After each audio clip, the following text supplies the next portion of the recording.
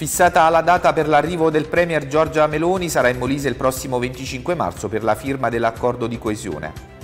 Contrasto alla peste suina in Molise, sequestrati dai carabinieri del NAS, oltre 600 capi di bestiame, multe per 370.000 euro. La conferma da Roma per le comunali di Campobasso il centrodestra si giocherà la carta pallante e lui si prende qualche giorno per riflettere. Capitale italiana della cultura, Saia, il nostro dossier non aveva nulla da invidiare al vincitore, realizzeremo comunque gran parte dei progetti. Nel pomeriggio di ieri il presidente nazionale della Croce Rossa Italiana Rosario Valastro a Isernia in visita al comitato locale, grande partecipazione dei volontari.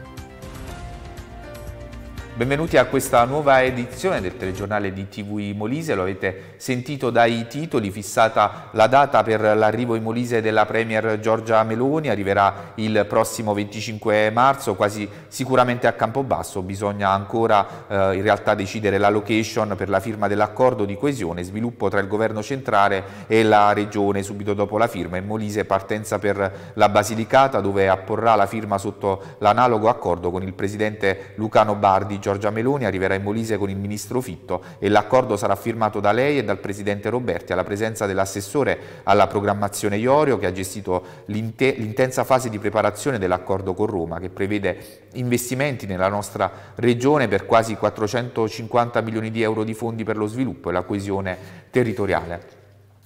E ora spazio alla cronaca, contrasto alla peste suina in Molise, sequestrati dai carabinieri del NAS oltre 600 capi di bestiame in un'azienda zootecnica per un valore complessivo di 370 eh, mila euro. Accertato anche lo smaltimento illecito di carcasse di animali. Sentiamo tutti i particolari da Cristian Ciarlante. I carabinieri del NAS di Campobasso, nell'ambito di controlli mirati per il contrasto alla diffusione della peste suina, hanno controllato diverse aziende agricole nelle province di Campobasso e Isernia, con allevamenti suinicoli e macelli avvalendosi della collaborazione di personale medico del servizio veterinario dell'ASREM.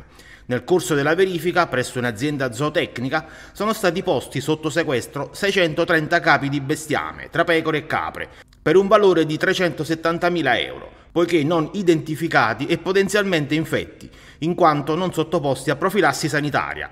È stato accertato inoltre anche lo smaltimento illecito di carcasse di animali, per cui è stata disposta la bonifica dei terreni. In cinque allevamenti di maiali sono state accertate carenze strutturali relative alle misure di biosicurezza preventiva alla peste suina africana e in 12 stabilimenti di macellazione sono state accertate carenze igienico-sanitarie strutturali, nonché la non corretta applicazione della normativa europea volta a tutelare il benessere animale. In un caso inoltre è stata disposta l'immediata sospensione di un deposito di carne, poiché non registrato all'autorità sanitaria e privo dei requisiti minimi obbligatori.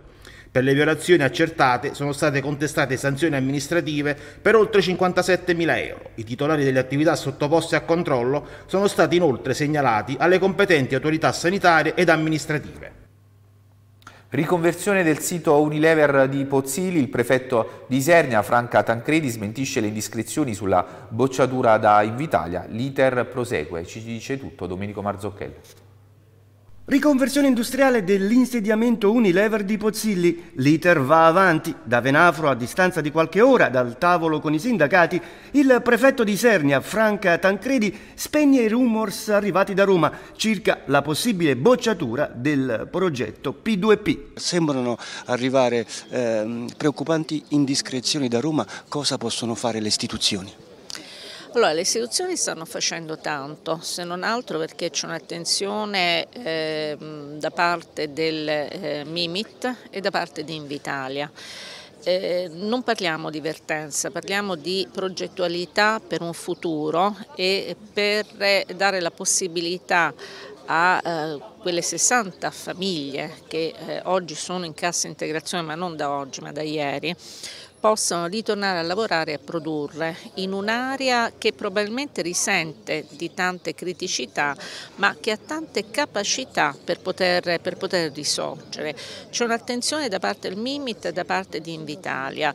Eh, ieri mi sono sentita con Invitalia dopo l'incontro che abbiamo avuto eh, e eh, l'iter sta proseguendo. Non possiamo dire che vi sia stata, come ho sentito, alcune indiscrezioni indicazioni eh, anche sulla stampa che le progettualità presentate sono state bocciate, niente di tutto questo. L'iter prosegue, eh, gli investimenti ci sono, l'interesse da parte del governo centrale a investire in quest'area ci sono, quindi eh, dobbiamo essere fiduciosi sempre con i piedi per terra ovviamente e eh, nell'ambito di un confronto che sia sempre comunque trasparente.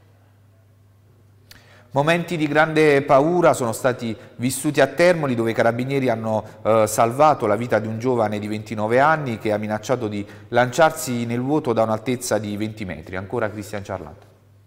Momenti di grande paura sono stati vissuti a Termoli questa mattina, dove i carabinieri hanno sventato un tentativo di suicidio da parte di un ragazzo di 29 anni della provincia di Campobasso, che salito sul muraglione di via Federico II di Svevia minacciava di lanciarsi nel vuoto, da un'altezza di circa 20 metri. Il giovane è stato subito avvicinato dai militari, che dopo essere riusciti ad afferrarlo, riportarlo all'interno del parapetto e porlo in condizioni di sicurezza, lo affidavano alle cure del personale medico del 118. Nel corso delle ultime ore, inoltre, i carabinieri di Termoli, alla guida del maggiore Alessandro Vergine, hanno effettuato un controllo a tappeto del territorio che ha interessato i comuni di Petacciato e Montenero di Bisaccia. Controlli finalizzati a prevenire e reprimere i reati contro il patrimonio e in particolare i furti in abitazione e di auto. L'istituzione di numerosi posti di blocco lungo le principali arterie di accesso ai comuni interessati hanno permesso di controllare 53 veicoli e identificare 63 persone. Effettuate anche tre perquisizioni, di cui una veicolare e due personali, controllati cinque esercizi pubblici e sei persone sottoposte a misure restrittive della libertà personale, elevati infine quattro verbali ad altrettanti conducenti di autoveicoli per contrastare infrazioni al codice della strada per importi pari a 325 euro, nonché ritirata una patente di guida. Torniamo a occuparci dell'8-0 dell'Isernia Castel di Sangro dopo la sentenza del TAR Molise che ha accolto il ricorso del Comune di Isernia e del WWF. Ecco gli scenari che si profilano all'orizzonte. Tiziano Di Clemente, il TAR ha accolto il ricorso del comune di Isernia e del WWF riguardo all'8-0 dell'Isernia Castel di Sangro. Ora che cosa succederà? Insieme al comitato non l'8-0 noi abbiamo spinto il comune a fare questo ricorso, abbiamo avuto ragione. Adesso l'ANAS, in base alla sentenza del TAR, è messo nella condizione di dover annullare gli atti di gara, perché il TAR ha detto che in assenza della valutazione di impatto ambientale, che infatti è stata annullata perché è illegittimo l'atto regionale, il, i lavori non possono proseguire, non si sono mai visti lavori che, che possono farsi senza valutazione di impatto ambientale, quindi diffideremo l'ANAS ad annullare gli atti di gara e quindi se l'ANAS non lo farà eh, faremo anche un esposto alla Procura della Repubblica. Ci saranno danni erariali da risarcire, anche su questo ci attiveremo. Si tratta di un'opera inutile e dannosa, vogliamo che questi decine e decine di milioni vengano quindi salvati da questo saccheggio erariale ed ambientale e vengano utilizzati per le opere utili che ci negano tipo per esempio il tratto Colli Roccaravindola che va messo apposta a proposito di collegamenti tra Castel di Sangro e il, e il Tirreno, oppure la Bretella di Venafro, il Ponte Sende, le frane, ma eh, se andiamo ad estendere il discorso è una follia sperperare tutti questi milioni per un'opera che è risultata anche illegittima e invece ci tagliano gli ospedali, le scuole, i servizi essenziali. Fratelli d'Italia conferma la scelta di Pallante quale candidato sindaco per il centrodestra a Campobasso. Il tavolo convocato a Roma da Donzelli con la presenza dei dirigenti regionali del partito. Quintino Pallante ha preso qualche giorno per sciogliere la riserva. Vediamo il servizio di Francesco Adamo.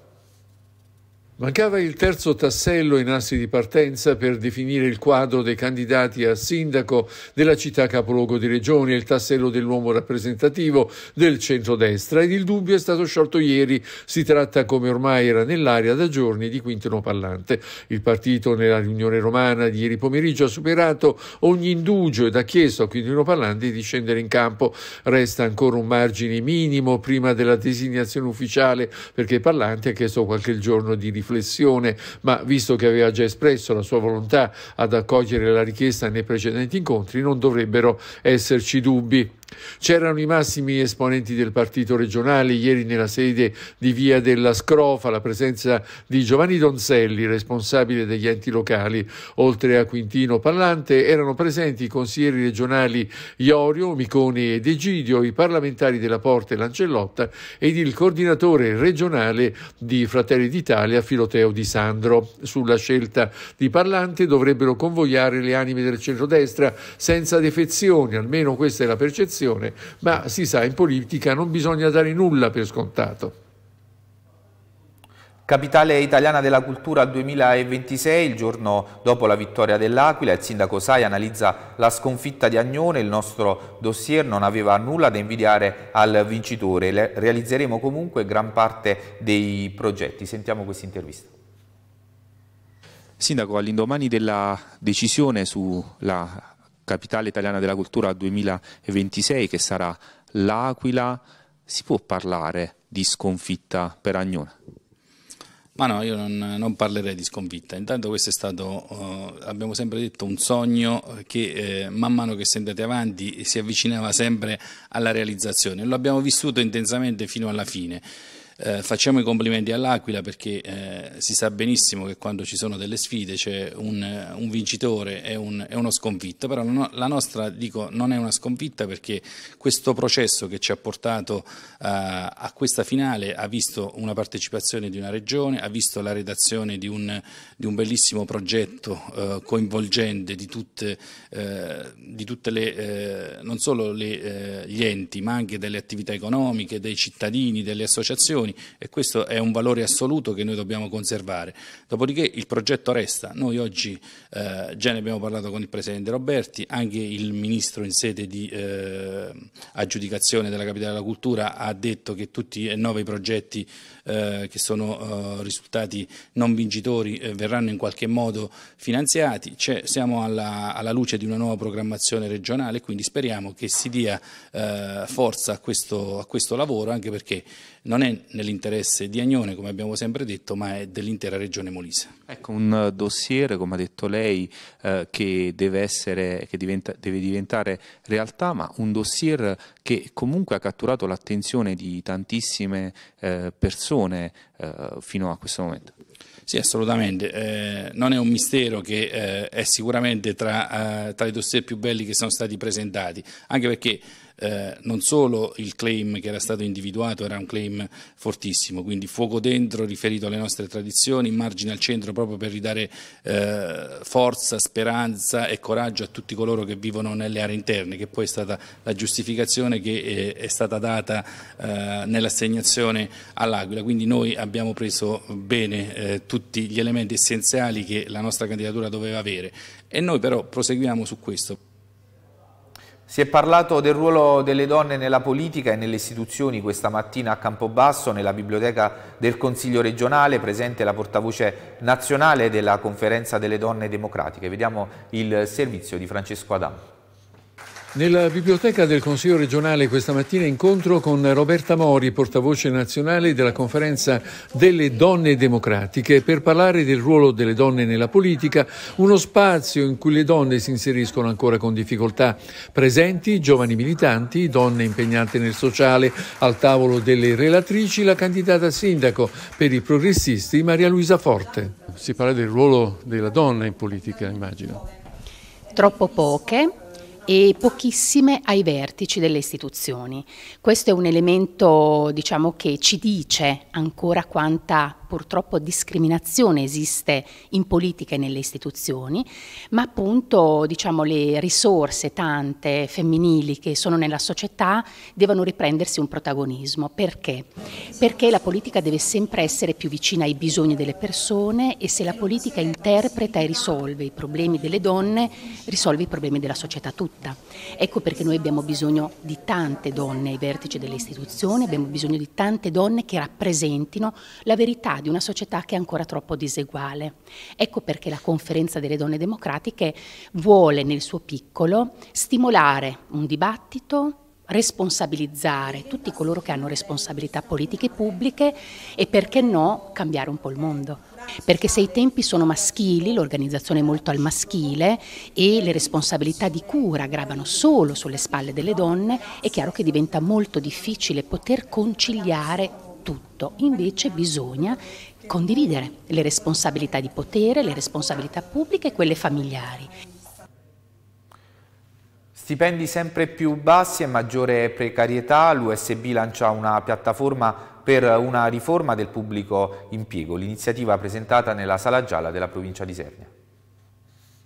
La pubblica amministrazione che vogliamo, e questo è il nome della piattaforma ideata e promossa dall'USB per il rinnovo dei contratti del pubblico impiego. L'iniziativa è stata presentata stamane nella Sala Gialla della provincia di Isernia. L'obiettivo è quello di proporre riforme in grado di incidere in maniera determinante sul mondo del lavoro. Non solo un incremento delle assunzioni, ma anche un salario più adeguato ai costi della vita attuale. Questo quanto viene chiesto al governo. La narrazione dei lavoratori pubblici considerati come dei privilegiati deve finire, fanno sapere dal sindacato. Oggi questi dipendenti devono fare i conti con condizioni lavorative e sociali sempre più precarie. Per questo motivo sono sempre di più che decidono di dimettersi o di non accettare il cosiddetto posto fisso. Gli economisti ci dicono che quando il pubblico funziona, quando eh, il settore eh, diciamo, è ben curato, poi ovviamente i cittadini ne giovano. Negli ultimi anni abbiamo avuto la colpevolizzazione eh, dei servizi pubblici, fannulloni,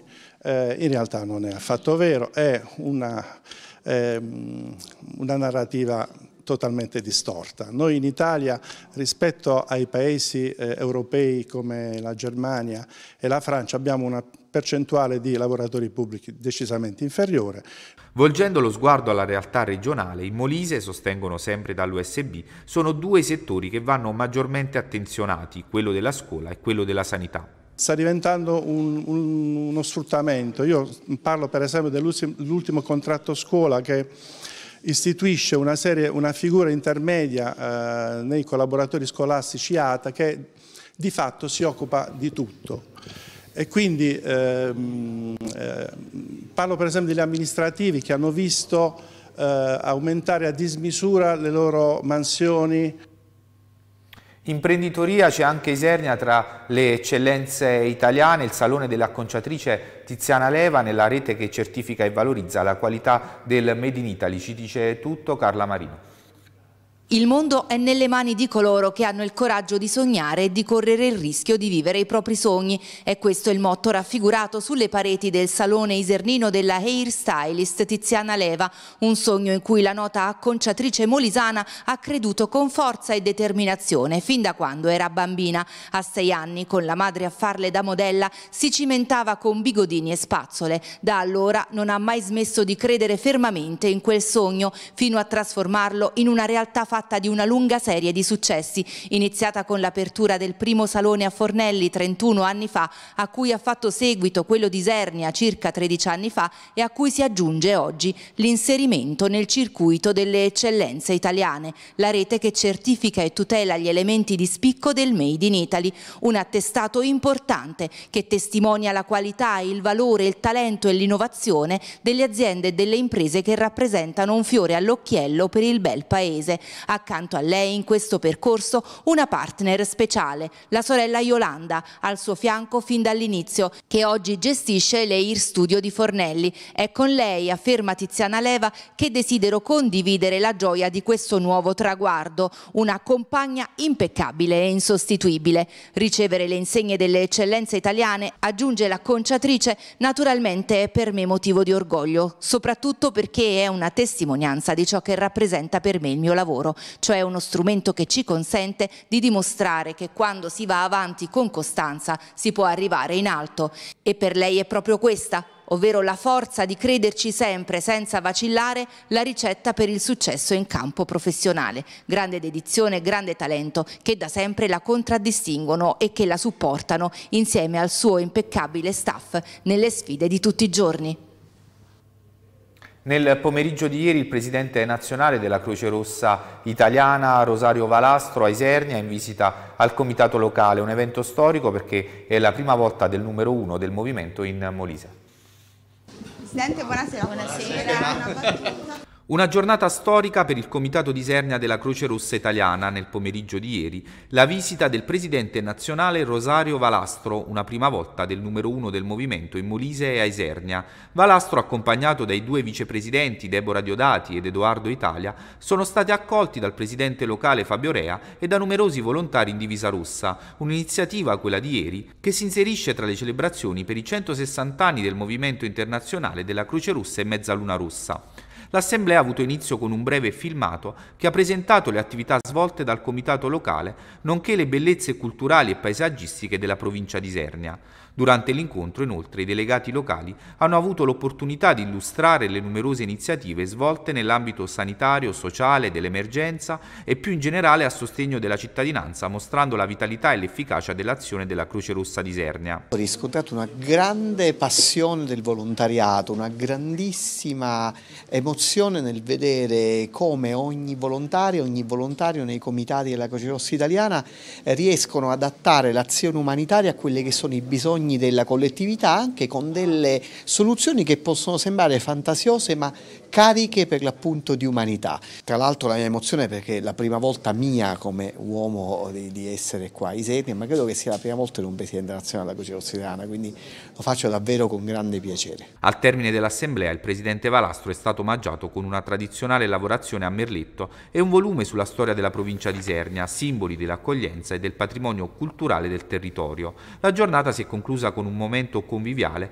che ha permesso al direttivo nazionale di immergersi ulteriormente nella realtà e nell'atmosfera unica della crisi ernia. Ed ora un'anteprima di quello che sarà il weekend calcistico molisano con il nostro Michele Visco che ci dice tutto sugli incontri in programma in Serie D, Girone F ed Eccellenza, Eccellenza Molisana.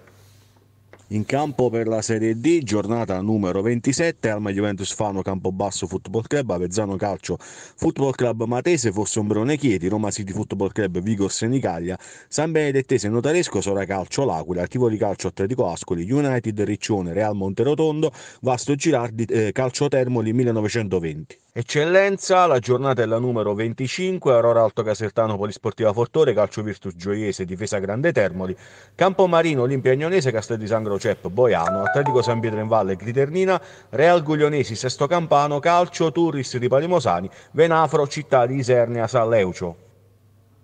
Bene, il telegiornale finisce qui, non mi resta che dare la linea ai colleghi dell'Aquila, grazie per averci seguito, l'appuntamento alle prossime edizioni del nostro telegiornale.